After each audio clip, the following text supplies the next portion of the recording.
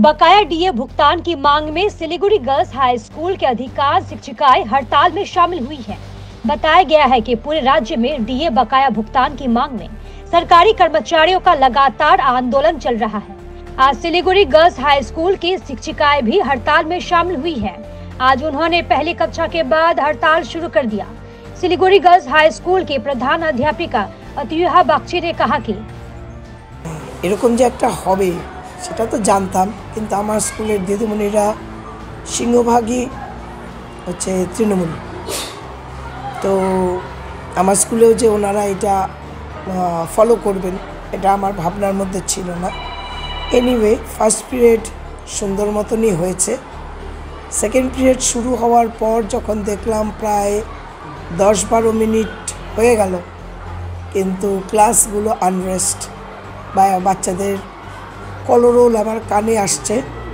তখন আমি ব্যাপারটা সরজমিনে দেখতে যাই। তখন দেখি যে দিদিমণিরা ক্লাসে যাচ্ছেন না। কারণ তারা এই ডিএর দাবিতে আজকে কর্মবিরতি করছেন সবাই।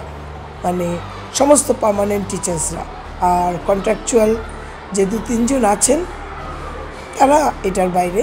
কিন্তু permanent teachers everyone each and everyone তারা এই কর্মবিরতিতে অংশগ্রহণ করেছেন। অফিস একদম স্বাভাবিক চলছে। আর আমি as a head of the institution আমার থাকা উচিত না এবং আমি নেইও এটার মধ্যে। আর বাকি আমার যারা গ্রুপ ডি স্টাফ আছে, দেখতেই পাবেন খাতা বিলি হচ্ছে। আমার গ্রুপ ডি স্টাফ তারা বাচ্চাদের খাতা, আজকেই খাতা আসলো, খাতা দেওয়া হচ্ছে। শুধু নর্মাল যেটা পঠন পাঠন সেটা ফার্স্ট পিরিয়ডের পর ব্যাহত হয়েছে। সারা পশ্চিমবঙ্গ জুড়েই আজকে আমাদের যে ডিএ বঞ্চনা চলছে, তার প্রতিবাদে আজকে আমরা কর্মবিরতি পালন করছি। আমাদের তাদের তাদের যে আন্দোলন, তার সেই আন্দোলনের প্রতি আমাদের সমর্থন রয়েছে।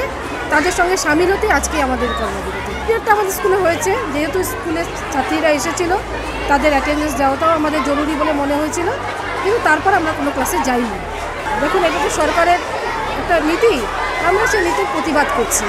বাকিটা সময় সাপেক্ষ ব্যাপার, সেটা ওনারাই সিদ্ধান্ত নেবেন যেই পরিস্থিতিতে কতদিন ভাবে চলতে পারে। নিশ্চয়ই তারা প্রতিকার করার আশা রাখছি যে তারা প্রতিকার করবেন। আমাদের পূর্ণ দিবসে কর্মবিরতি থাকবে।